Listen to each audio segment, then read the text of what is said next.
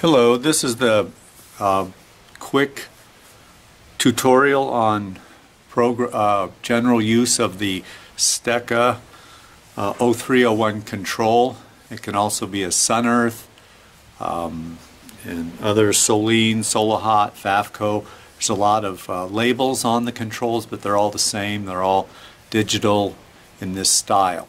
You can see from the screen it's running right now. We have a temperature on the roof of 111. It's dropping because it's not heated. To, in order to change that view of the temperatures, you just push the down button. The second uh, icon comes up. It's uh, T3. That's the temperature at the top of the tank. I can change that by heating that sensor some controls, some systems have that sensor installed, some do not. We recommend it.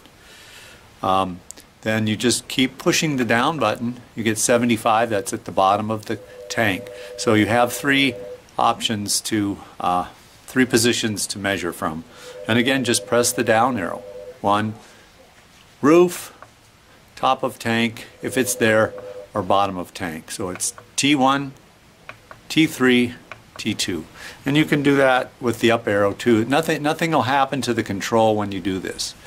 It's just monitoring. It gives you the position, selects the icon and tells you the temperature. So now we're going to, um, and when it's running you'll see the little diagram, uh, animated diagram running and you'll see the sun out on the upper left. So now we're going to work with the simple menu. To set the simple menu, you just press and hold the press and hold the middle button until the menu comes up on the right.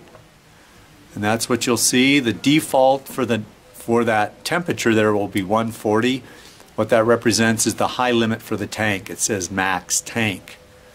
So to set to to scroll through this menu just we open the menu and we'll just scroll through it right now. We use the lower arrow that's 10 Celsius or Fahrenheit. You can change that.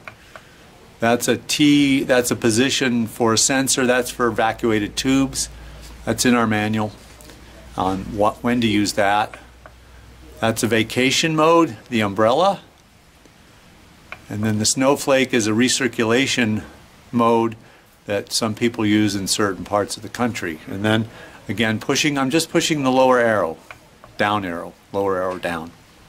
And now we're back to the original screen that you should always see um, in the controller. Now, when you look at the controller, you could have that icon positioned. Again, I'm using the lower, the down button. You could have it set for the middle of the tank. You can have it set for the bottom of the tank. Or you can have it set for the roof. Whatever you prefer. It'll stay where you leave it. So if you leave it at the middle, then when the tank heats up, middle of the tank might read over 100 or 120 or even higher. And then you can come by and say, oh, I have hot water.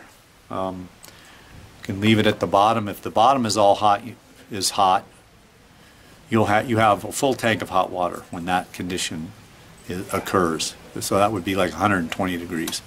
So now we're going to go again. The, the down button, lower arrow. You just push the key, and it just scrolls through. It also scrolls through on the top. It just goes in reverse. So now we're going to go back to setting uh, using the set menu. So you remember we just, again, I'm pushing the center button, holding it until the main menu comes up. The, the current number is 150. The default you, that you receive it at is 140. To set that, if we want to set it up or down, press and hold the set button until the number flashes, the temperature. There it's flashing 150. So now we use the down arrow. And we go down. Just push it, push, until we get to 140. I'll leave it at the default now. 140 and then it's still flashing. Press the set button, it should stop the flashing. There. Your max tank now is set at 140 and you can see in the tank the T2 icon says max. That means when the tank get at the lower, at the T2 position gets to 140, the solar stops heating. So now we want to go to the second setting, which is Celsius Fahrenheit, we just use the, the down arrow, push it, and you can see that Fahrenheit comes up. It's flashing. Um, and in the little box below max, you can see a C and a slash F. So to change that to Celsius, if you like Celsius, just put push, press, and hold the set button till C appears. You're done. That's all you have to do with this. Then you want to set it back, press and hold till sometimes somebody pushes the wrong button and you get the numbers wrong and they're reading Celsius instead of Fahrenheit. So this is Fahrenheit now. Now you want to go to the next option, which just push the down arrow. It's the evacuated tube function. In most cases, you want that icon, the T1 that's blinking up there, to stay at the top. Um, if you do have evacuated tubes, re refer to your design or installer or owner's manual on and the owner's manual for this controller on position, positioning that to the uh, evacuated tube position. Uh, again, the way you do it is it's opened and I believe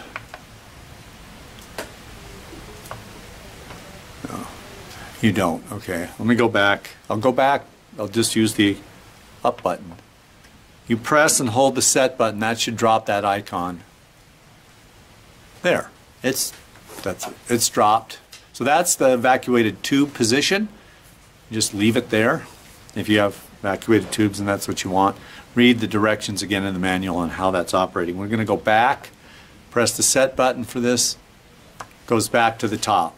I'm going to scroll to the next program using the down arrow.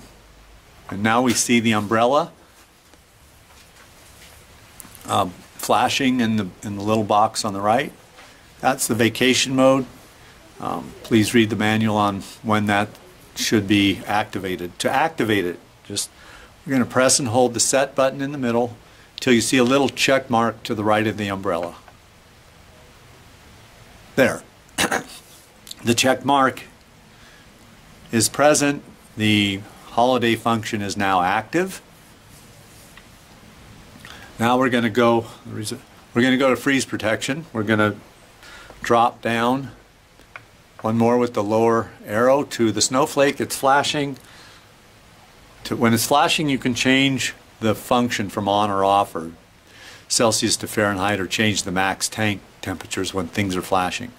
So, but in this case, we just have to hold the set button there. We have a check mark. So now the freeze recirculation function is set Again, please consult your uh, design manual, the control manual, and uh, installer if necessary for the proper activation of that function. Now we're going to, now that we have that activated, we're just going, we're going to get out of this menu. We just push the down arrow. We're at the end.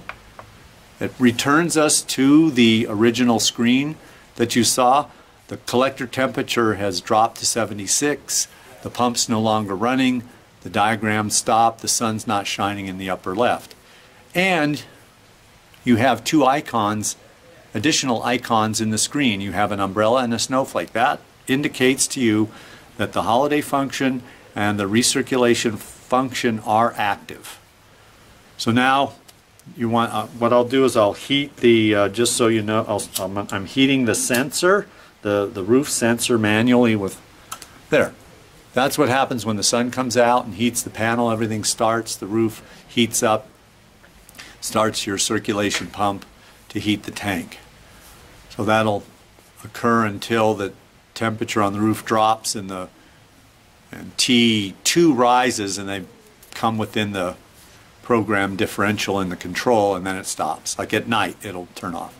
So now we're going to go back into the menu into the standard set menu and take out those. We're going to deactivate the holiday function and the freeze function. So press and hold the set button. You can do this anytime. You see the uh, max tank is 140. We're going to scroll using the down arrow. One, two, three to the holiday function. Umbrella's flashing. Press and hold set until the check mark is gone. Gone. Now scroll, use the lower, the down arrow to go to the snowflake it's flashing. Press and hold the set button. The check mark's gone. Press the down arrow and your standard screenshot is there, screen view on the LCD, and the two icons are no longer in the screen, indicating that the holiday function and the recirc freeze function have been deactivated. So that's the simple menu that is available with the controller. The monitoring again of temperatures is just press the down arrow. That's the top of the tank or wherever T3 sensor is located, hopefully at the top. And then that's the bottom, sensor T2. So the controller operates, the actual functionality is the control is comparing T1, 90, 89 right now, to T2, 77. Now when those come, I will heat up just to show you. I'm going to heat up T2. You'll see the temperature right. Oh, that's the wrong one, sorry. T2. I'm heating the storage tank manually, turns off.